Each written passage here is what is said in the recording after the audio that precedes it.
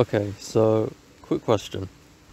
Let's say all you've been told about how the world works is from Greek mythology, and someone has asked you just now how the world works.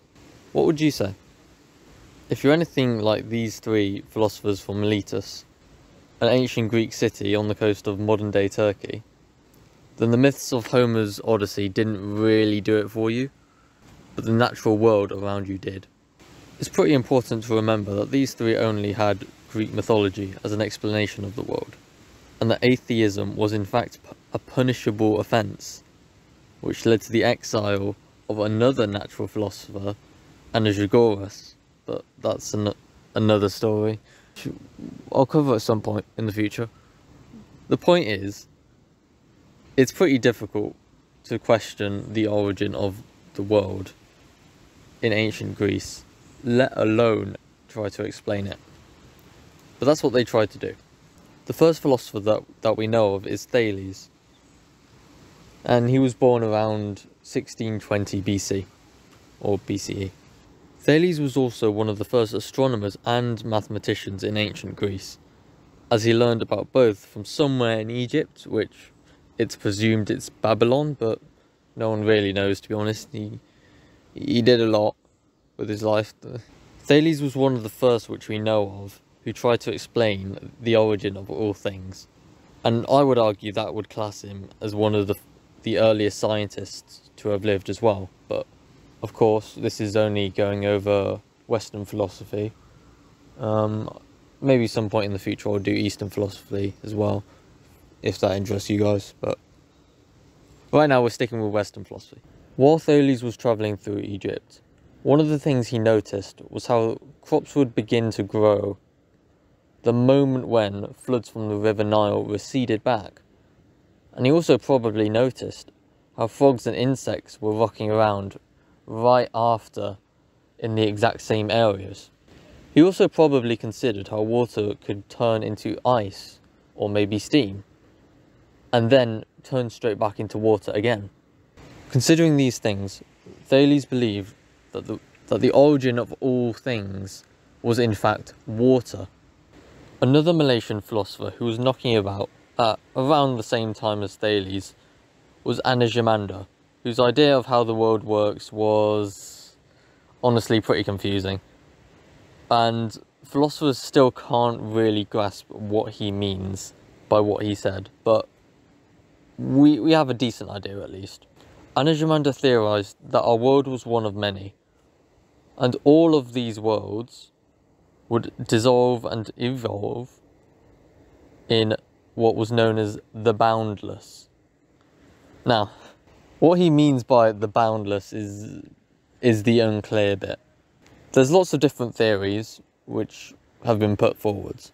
Perhaps he meant that the boundless was a substance of sorts, which was far too complex for us to witness on Earth, however, operated in a similar manner to how Thales believed water did, in that it was the origin of all things.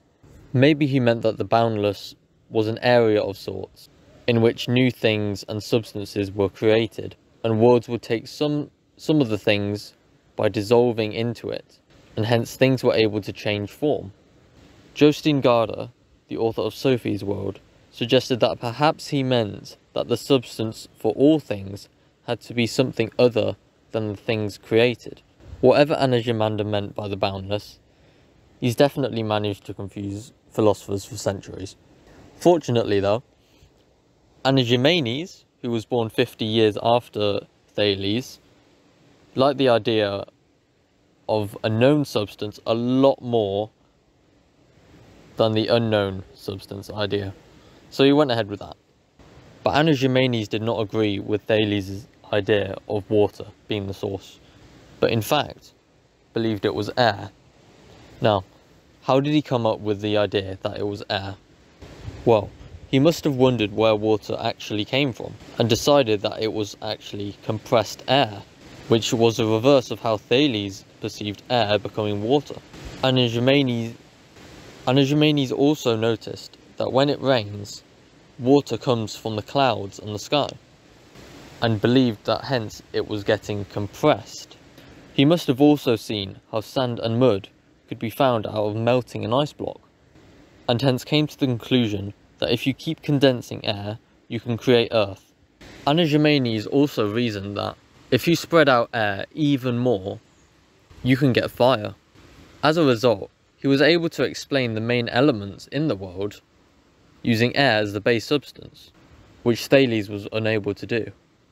I think the challenging aspect when looking at the three Milesian philosophers is that it's very different than if you were looking at, say, Plato or Socrates. When looking at the latter two, the questions which they tackled are very clearly ambiguous and still applicable to the modern day. Questions such as, is there such a thing as a soul, is something which personally I believe we will never be able to answer. And that makes it quite easy to think over how they would have thought of things. And because it is unable to be answered, we can think over the question itself. But with the natural philosophers, they pose themselves a question which has actually now been solved and had a definitive answer. So it is so we cannot actually place ourselves in the shoes of the natural philosophers because the question has been solved. So really the question for us when we are looking at these natural philosophers is what can we learn? because that's essentially what philosophy comes down to. I think there's a lot of key themes which exist in philosophy and we see throughout history. But I think there are also some which exist just for these three.